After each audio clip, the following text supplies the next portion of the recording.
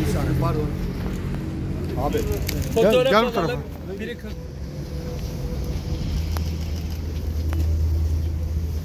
Efendim hemen merhabalar. Diyelim yakın dostlarınızın bugün düğünü var. Pardon. Neler söyleyeceksiniz bugün için? Valla çok mutluyuz.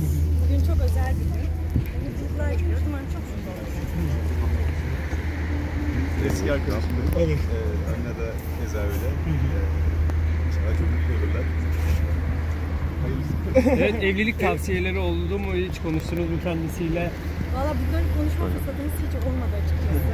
Hem ben çok yoğun çalışıyordum hem dışarı çıkamadık. Onlarla çok karşılamadık ama karşılaşamadık ama e, mutluluklar diliyoruz ne diyelim. Harika. Siz nasılsınız? Neler yapıyorsunuz peki? Var mı yeni bir şeyler bu sonra? Valla benim şu ara böyle biraz bir hastalık hastalık ayağımda bir problem var. O yüzden şu an Geçmiş saçma bir olsun. ayakkabıyla geldim.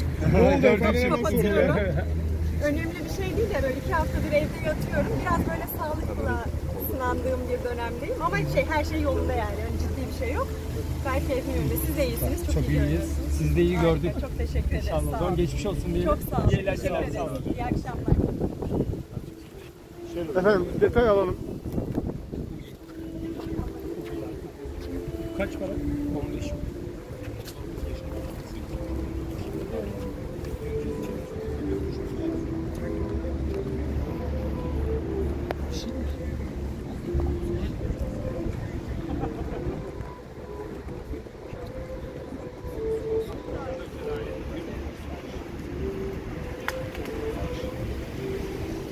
Bir sayı.